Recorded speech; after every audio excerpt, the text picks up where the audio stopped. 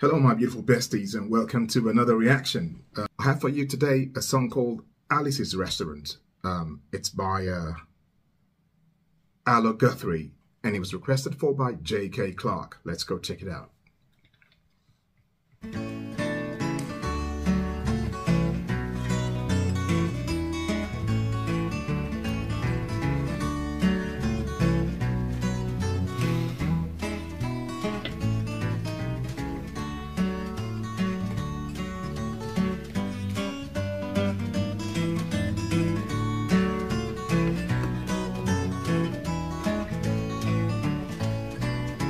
This song is called Alice's Restaurant. It's about Alice and the restaurant. But Alice's Restaurant is not the name of the restaurant, that's just the name of the song. And that's why I call the song Alice's Restaurant.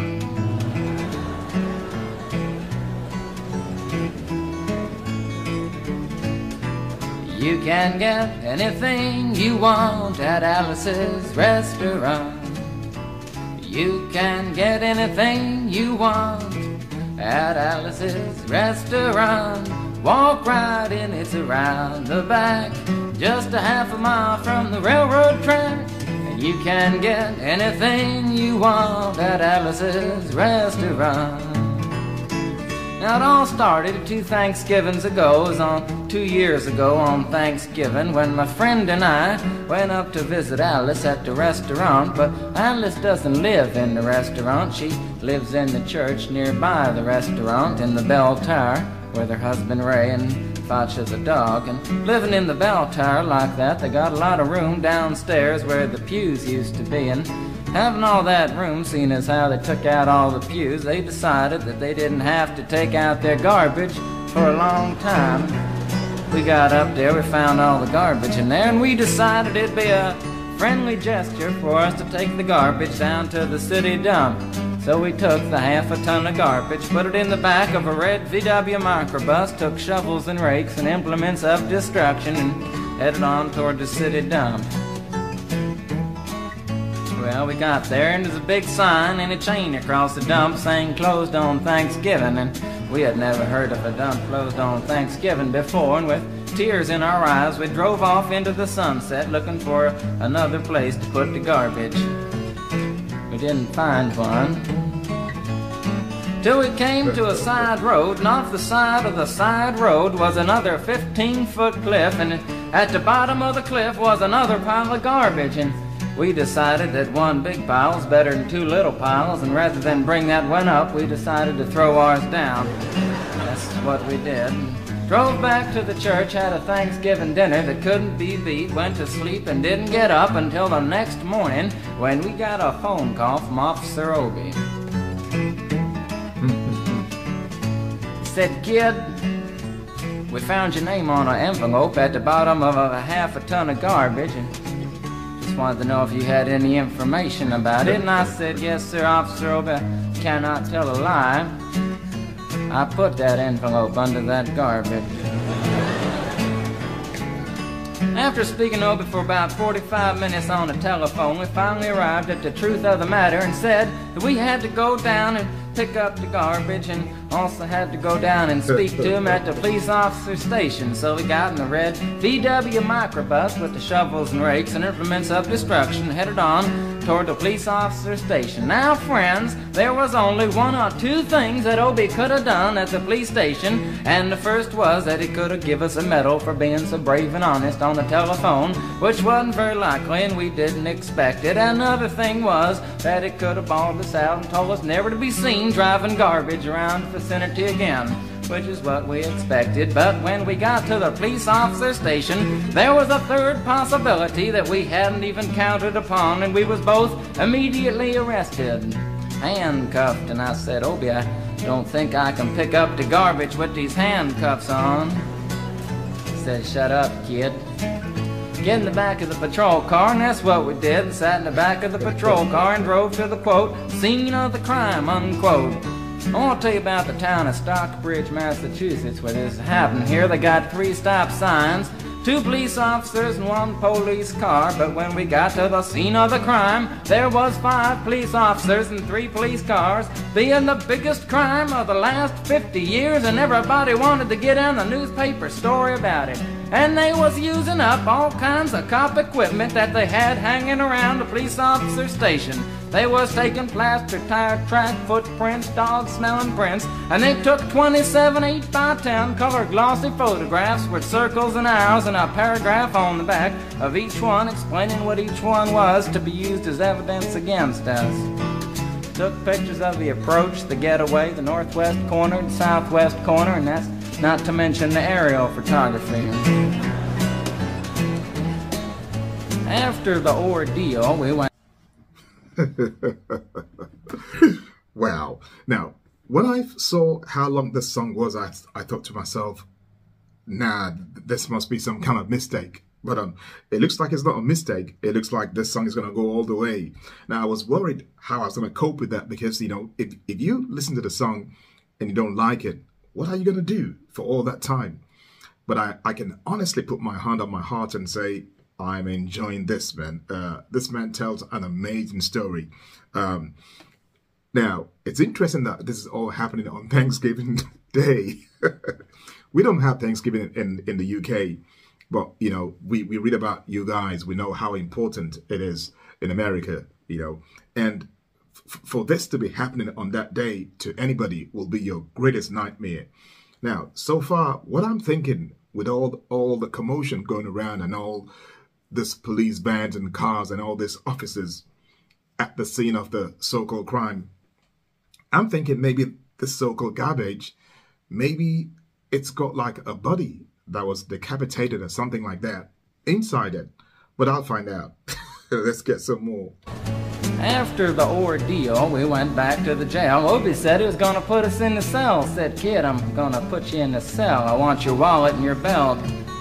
And I said, Obie, I can understand you want my wallet so I don't have any money to spend in the cell, but what do you want my belt for? And it said, kid, we don't want any hangings. Said, Obie, did you think I was going to hang myself for littering? Obie said he was making sure, and friends Obie was, 'cause he took out the toilet seat so I couldn't hit myself over the head and drown. And he took out the toilet paper so I couldn't bend the bars, roll out the roll the toilet paper out the window, slide down the roll and have an escape. Obie was making sure, and it was about four or five hours later that Alice, remember Alice? It's a song about Alice. Alice came by and with a few nasty words to Obie on the side, bailed us out of jail. We went back to the church, had another Thanksgiving dinner that couldn't be beat, and didn't get up until the next morning when we all had to go to court. We walked. At least that is sorted right. There was no body inside it. That's just me and my imagination. And Alice actually turned up. I was starting to think there was no Alice. So uh, we gone past that stage. Now, on to the next chapter. Given dinner that couldn't be beat and didn't get up until the next morning when we all had to go to court. We walked in, sat down. Obie came in with a 27 8 by 10 colored glossy pictures with the circles and arrows and a paragraph on the back each one. Sat down. Man came in, said, All rise. We all stood up, and Obie stood up with the 27 8 by 10 colored glossy pictures, and the judge walked in, sat down with the eye dog, and he sat down. We sat down. Obie looked at the eye dog. Then the 27 8 by 10 colored glossy pictures with the circles and arrows and a paragraph on the back of each one, and looked at the eye dog. And then the 27 8 by 10 colored glossy pictures with the circles and arrows and a paragraph on the back of each one and began to cry because Obie came to the realization that it was a typical case of American blind justice and there wasn't nothing he could do about it. And the judge wasn't going to look at the 27 8 by 10 colored glossy pictures with the circles and arrows and a paragraph on the back of each one explaining what each one was to be used as evidence against us. And we was fined $50 and had to pick up the garbage in the snow, but that's not what I came to tell you about. Came to talk about the draft. You got a building down New York City. It's called Whitehall Street, where you walk in and you get injected, inspected, detected, infected, neglected, and selected. I went down to get my physical examination one day, and I walked in, I sat down, got good and drunk the night before, so I looked and felt my best when I went in that morning. Cause I wanted to look like the all-American kid from New York City. Man, I wanted, I wanted to feel like the, I wanted to be the all-American kid from New York. And I walked in, sat down, I was hung down, brung down, hung up, and all kinds of mean, nasty, ugly things. And I walked in, I sat down, they gave me a piece of paper, said, kid, see the psychiatrist, room 604. And I went up there, I said, shrink, I want to kill. And I want, I want to kill, kill. I want, I want to see, I want to see blood and gore and guts and veins in my teeth. Eat dead, burnt bodies. I mean, kill, kill, kill, kill. And I started jumping up and down, yelling, kill, kill. And it started jumping up and down with me, and we was both jumping up and down, yelling, kill, kill. And the sergeant came over, pinned the medal on me, set me down the hall, said, You're our boy. And didn't feel too good about it. Proceeded on down the hall, getting more injections, inspections, detections, neglections, and all kinds of stuff that they was doing to me at the thing there. And I was there for two hours, three hours, four hours. I was there for a long time, going through all kinds of mean, nasty, ugly things, and I was just having a tough time there and they was inspecting, injecting every single part of me and they wasn't leaving no part untouched. Proceeded through and I when finally came to see the very last man, I walked in, walked in, sat down after a whole big thing there, and I walked up and said, What do you want? He said, Kid, we only got one question. Have you ever been arrested? And I proceeded to tell him the story of Alice's Restaurant Massacre with full orchestration and five-part harmony and stuff like that, and then all the phenomena stopped me right there and said, Kid, did you ever go to court? I proceeded to tell him the story of the 27 8 by 10 colored glossy pictures with the circles and arrows and a paragraph on the back of each one. It stopped me right there and said, Kid, I want you to go over and sit down on that bench that says Group W. Now, kid.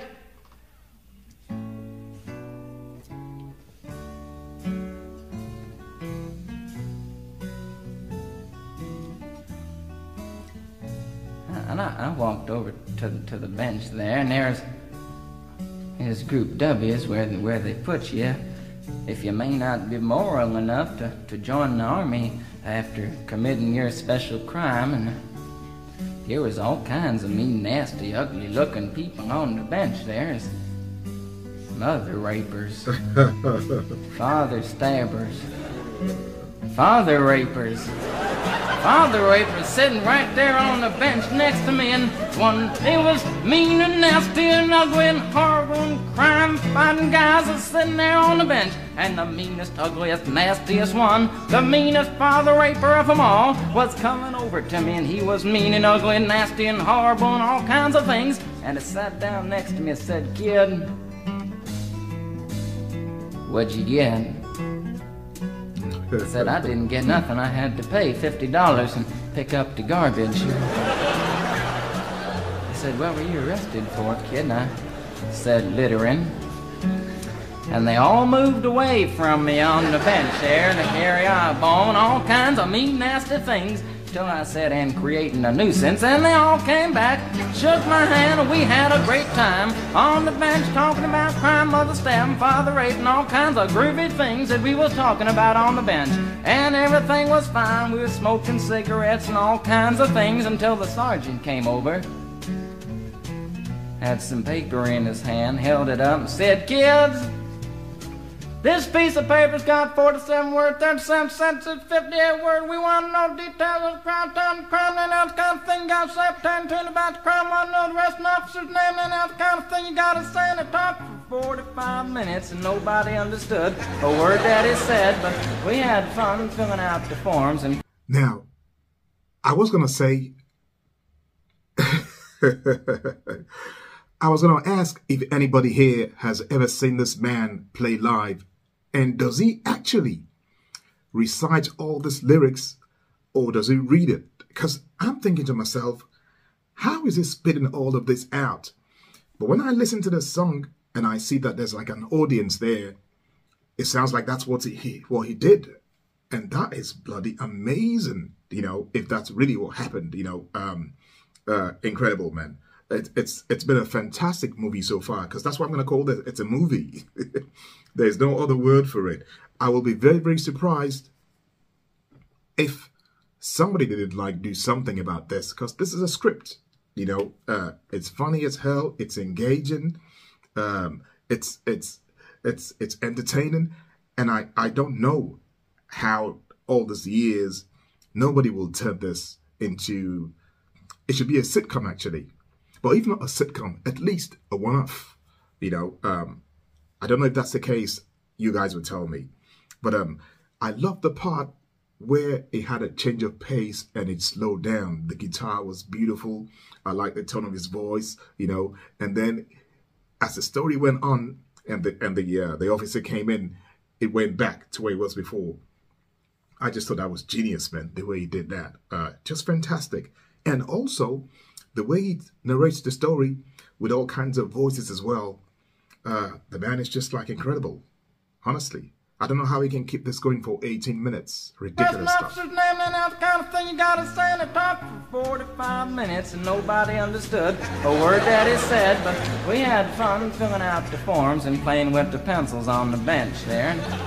I filled out the massacre with the four-part harmony and wrote it down there just like it was, and everything was fine, and I put down a pencil and I turned over the piece of paper, and, and there, there on the other side, in the middle of the other side,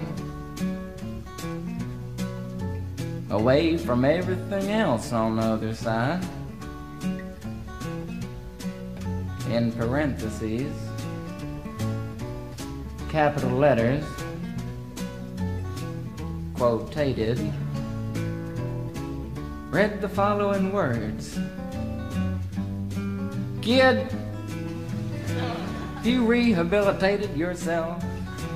I went over to the sergeant and said, Sergeant, you've got a lot of damn gall to ask me if I've rehabilitated myself. I mean, I mean, I mean, I just, I'm sitting here on a bench I mean, I'm sitting here on the Group W bench.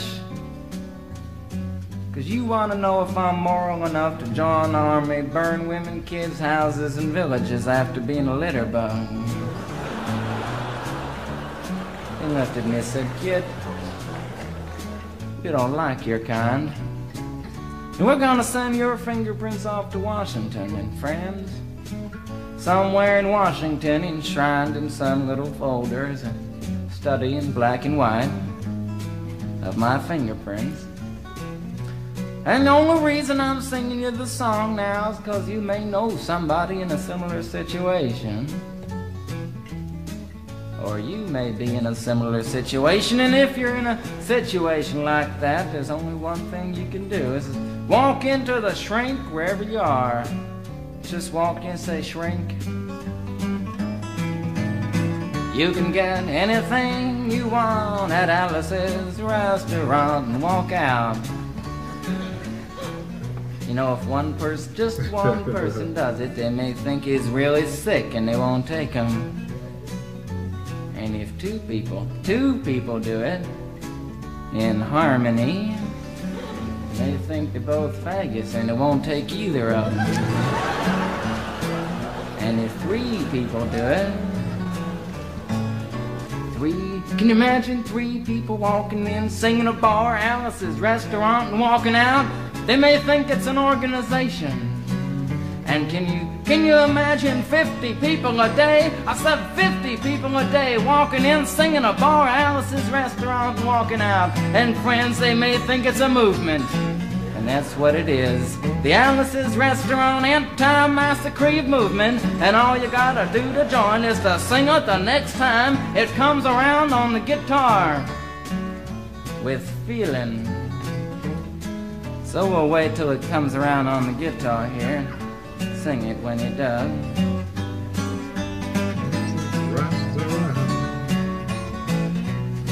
Here it comes. You can get anything you want at Alice's restaurant. You can get anything you want at Alice's restaurant. Walk right in, it's around the back, just a half a mile from the railroad track. And you can get anything you want at Alice's restaurant. That was horrible. One end Warren stuff, you gotta sing loud. You could put a lot. I've been singing the song now for 25 minutes. I could sing it for another 25 minutes. I'm not proud or tired. So we'll wait till it comes around again, and this time with four-part harmony and feeling. We're just waiting for it to come around is what we're doing.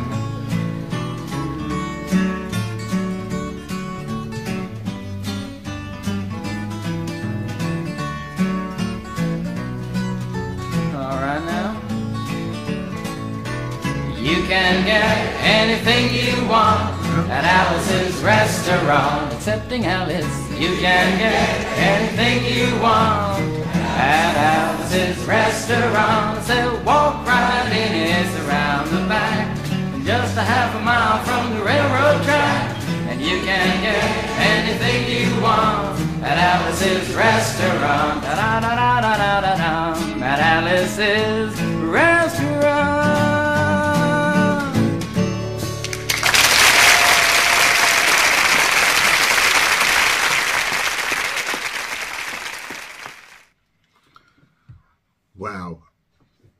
cannot actually believe that that was like 18 minutes and 15 seconds and it was pure gold. you can get anything you want at Allison's restaurant. Fantastic stuff, Ben. I, I, I can't help but wonder when he was talking about the song, you know, becoming a movement, if a lot of people sing it, if he was trying to pass a message. Now, the message he was trying to pass, I'm not too sure. Um, it couldn't be about being arrested for for littering X or maybe ah maybe what was say, trying to say there is like some people are arrested for like things that are so um minor and and they get a you know they get a record for it. When they want to go for a job it, it now affects them because they get asked questions like um, have you ever been arrested? Have you ever been to court? Maybe that's what he's saying i don't know. But then again there's the part about him like going into the um going for the draft into the army and he wasn't suitable for that because of the arrest. So um i'm thinking maybe it could be a, a thing about a protest. Uh i'm not sure if it's for the army but i just i just i had that thing in my head when he said um it could be a movement if we all sing this together. I, I think maybe he was trying to pass a message there but i'm just not sure exactly what the message is. But um I imagine that um lots of people you know would have played the song around the uh you know around the um Thanksgiving period you know um especially maybe in restaurants you know I wouldn't be surprised at all. I wouldn't be surprised if some restaurants changed their name to Alice's restaurant who knows? Um I, but it was but it was very very entertaining. Uh like I said I'm not totally sure what the message is about. I think there's something you know he was trying to say for the fact that he mentioned that movement thing. He mentioned the army, and there was also the part about you know him being asked if he's ever been to court or if he's ever been arrested. So I think maybe, as I said earlier, maybe it's a case of people being arrested for things that are, are so um, flimsy uh, that it shouldn't be, and in the process they get their lives ruined. I don't know. Maybe that's what it is. Um, but uh, I look forward to the comment section and you guys will educate me. Uh, I hope you enjoyed it. If you did, please give the uh, video a like for me and I thank you for this. If it was your first time here today, welcome on board. Thank you for stopping by. Hope you come back again. My name is Harry. Stay cool, stay safe wherever you are. But most of all, stay beautiful in your heart and soul. I'll see you all next time. Um, I'm off to Alice's now to get some food.